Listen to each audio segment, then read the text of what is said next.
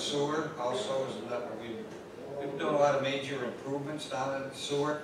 So we do have a increase in sewer because of, uh, a couple things going on. We're doing that major construction project down there and the cost of sludge hauling has gone up considerably.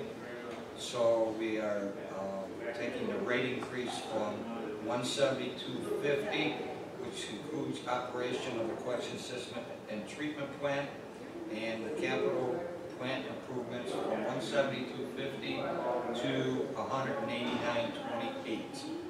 So that uh, is about the first increase uh, like that we've had in years. But uh, sludge hauling is a a big to-do for us this year. Our expenses went up about two hundred and fifty thousand dollars. Uh, One was where, two, two reasons led to that. One, we have to go a distance to uh, take the sludge uh, to the landfill, and it's out of Monroe County now. And the other one was the hauling. We did go out to bid three times, and we only had one bidder. So they kind of had us uh, there on that. So uh, we will continue to look